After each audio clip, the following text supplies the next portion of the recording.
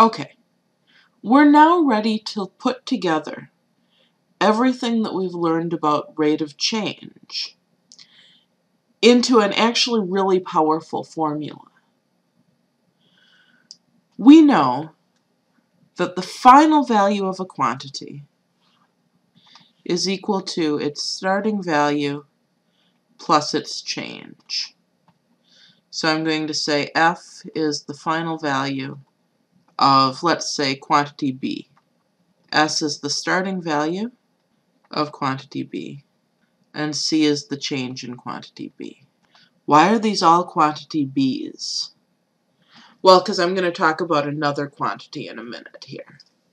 In particular, I'm going to say, okay, we also know, but we also know something else about change. Suppose we know that quantity B is changing at the same time as some other quantity, we'll call it quantity A, and we know the rate of change. Say, A is the change in quantity A, and we'll call the rate of change M. The reason that I'm calling it M will become clear a little bit later on. Then from the ratio equation, we know the change in quantity B is the rate of change times the change in quantity A. Using the principle of substitution, then, the final value is the starting value plus the rate of change times the change in the other quantity. Okay, that seems really weird.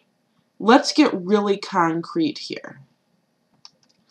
So you're ordering pizza with your friends. The pizza place charges a $2 delivery fee and $7 per pizza.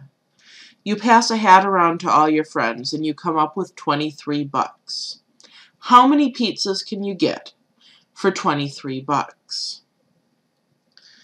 So the main quantity we're concerned with, right, is pricing.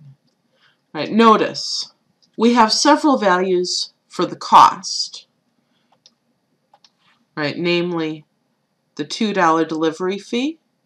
That's how much it costs if you don't get any pizzas at all, but still have the delivery guy come to your house for some reason we have the $23. That's how much we actually want to pay. And critically, we also have the rate of change in cost relative to the number of pizzas. So we want the final amount that we pay, $23, to be the base price, $2, plus $7 per pizza times the number of pizzas that we're getting. That makes sense, right? This expression here represents the cost to buy 8 pizzas. And this $23 represents what we want to spend. Once we have this equation, solving it is easy. That's no problem. It's getting to this equation that we're interested in.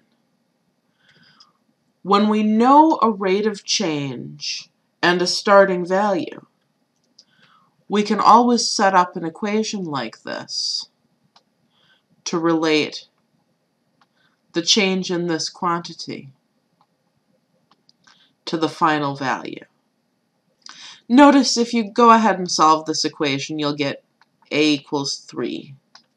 You can do that as an exercise. It's setting up the equation that we're really interested in right now. Let's see another example. Suppose a rental truck costs $20 base plus 85 cents per mile. What does it cost to rent the truck and drive it 93 miles? Right, so here, right, the starting cost is $20. The rate of change is 85 cents per mile.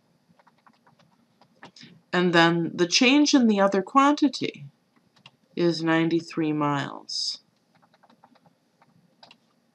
Therefore, the final value is the starting value of 20 plus 85 cents times 93 miles. What does that work out to? This is totally a job for the calculator.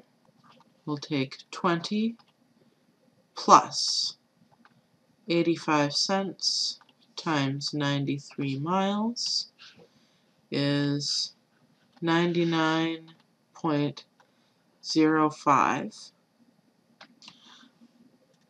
So the answer is $99 and five cents. Again, what did we do? We took the starting value, the rate of change, and the change in the other quantity, and plugged them again into this formula.